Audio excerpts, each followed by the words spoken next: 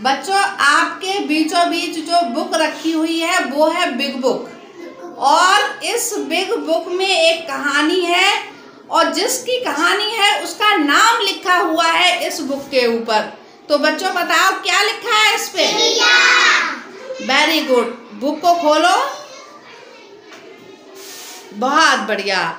इसको बुक को कौन कौन बच्चे पढ़ लेते हैं? हाथ ऊपर करो. जो बच्चे ये बुक पढ़ लेते हैं, वो हाथ ऊपर करें। शाबाश।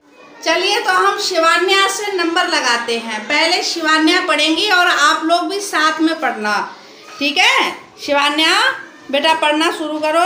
एक एक